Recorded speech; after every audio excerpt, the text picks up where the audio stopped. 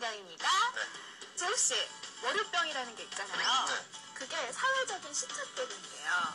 음, 뭐 주말에는 아무래도 늦잠을 자게 되니까 그러면 이제 신체 기능이 깨져서 몸도 찌뿌둥해지고 무거워진다고 하네요.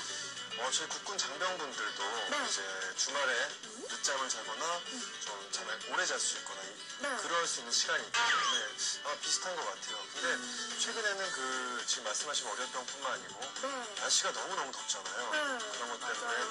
좀 이렇게 기운이 축 빠지고 처지는 그런 뮤타 가족 분들도 굉장히 많으실 것 같습니다.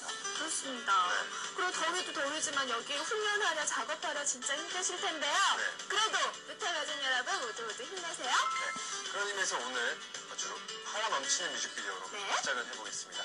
보시죠. 뮤직비디오